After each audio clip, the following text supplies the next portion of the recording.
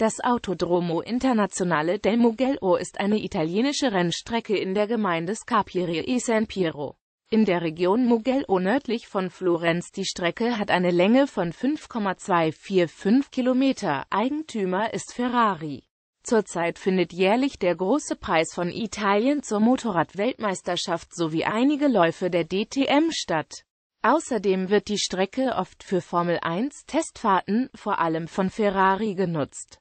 Geschichte Erste Rennen wurden bei Mugello im Jahr 1914 auf einer 66 Kilometer langen Strecke über öffentliche Straßen ausgetragen.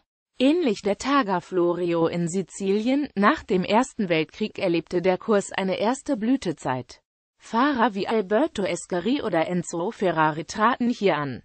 Es folgten Jahre im Schatten der Mille Miglia. 1955 wurde die Streckenlänge auf 19 Kilometer reduziert.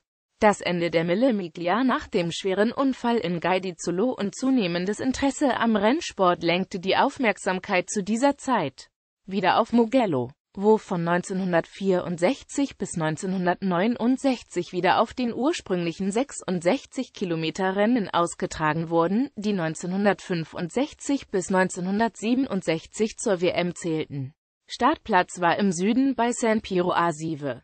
An Scarperie, wo das Autodrom errichtet wurde, führt die SP 503 nach Norden über den Pass Passo del Giogo, weiter nach Faenzuola.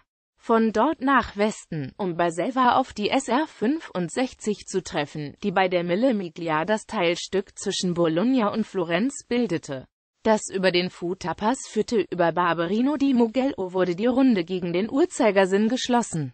Den letzten WM-Lauf gewannen Udo Schütz und Gerhard Mitter auf Porsche 910, nachdem Günther Klass tödlich verunglückt war.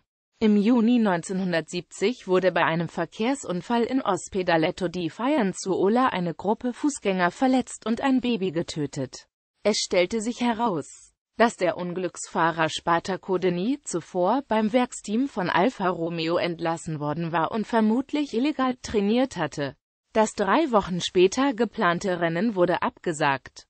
Am 23. Juni 1974 wurde schließlich ein Rundkurs in Betrieb genommen, der die Basis für die heutige Rennstrecke bildet.